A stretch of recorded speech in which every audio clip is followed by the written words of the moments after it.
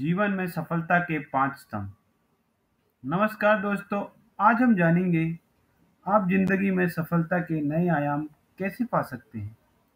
उन आयामों को पाने के लिए सफलता के पाँच स्तंभ, जिनसे आप जीवन में सुख, समृद्धि प्राप्त कर पाए।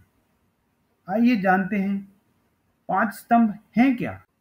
आइए जानते हैं पहला स्तंभ। आप ज़िंदगी में क्या चाहते हैं? पहले उसे स्पष्ट कीजिए। उसे अच्छी तरीके से जान लीजिए।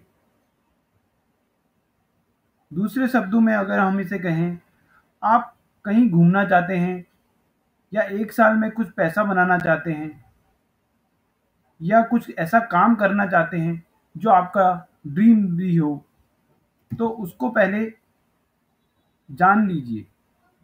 सफलता का स्तंभ नंबर दो। आपको सफलता क्यों चाहिए? ज़िंदगी में लक्ष्य होना बहुत अच्छी बात है, लेकिन जब तक आपको यह नहीं पता कि आपको सफलता क्यों चाहिए तो आप सफलता के आयाम अच्छी तरीके से प्राप्त नहीं कर सकते। सफलता का आयाम नंबर तीन, पहले से ही योजनाओं को बनाना। यह एक रोड मैप है, जो हमें बताता है कि हमें क्या क्या कदम उठाने चाहिए, जिससे हम अपने आप, अपने लक्ष्यों को प्राप्त कर लें। सफलता का स्तंभ नंबर चार, अपनी जवाबदेही तय करना। अपनी योजना के अनुसार ही आपको अपने सारे कार्यों की जवाबदेही लेनी होगी। जवाबदेही आपके लिए एक मेंटर या कोच की तरह कार्य करेगी। सफलता का स्तंभ नंबर पाँच, अपनी सफलता का आनंद लें। और लक्ष्य को बढ़ाएँ। जब आप ऊपर बताए गए स्टेप्स को फॉलो करेंगे तो निश्चित ही आपको सफलता प्राप्त होगी। तब उस सफलता का आपको आनंद लेना है।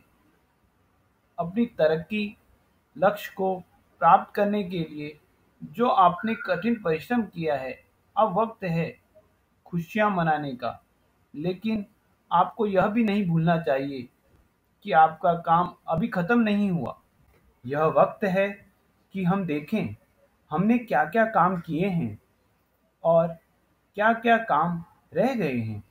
अपने लक्ष्य को बढ़ाएँ और अगले स्तर तक पहुँचाने के लिए उस पर काम करें।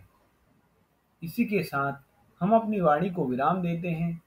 अगर आपको हमारा वीडियो पसंद आया है तो प्लीज़ लाइक एंड सब्सक्राइब करना ना